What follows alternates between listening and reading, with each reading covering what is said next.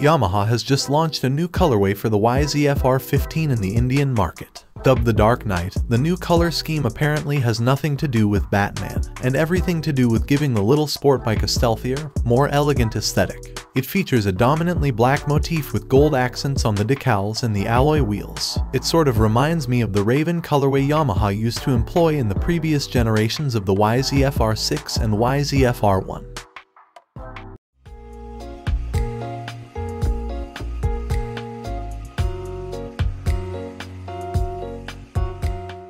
From a performance perspective, the YZF-R15 retains the same technology as previous iterations. It's powered by Yamaha's tried and tested 155cc, liquid-cooled, fuel-injected, single-cylinder engine, touted as a class-leading powerplant in the small displacement scene.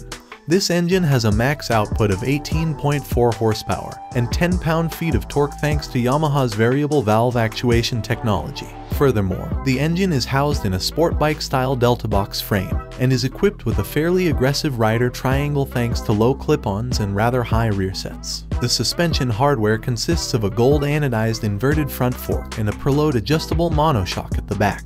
Meanwhile, the bike comes to a stop with front and rear disc brakes equipped with a dual-channel ABS setup.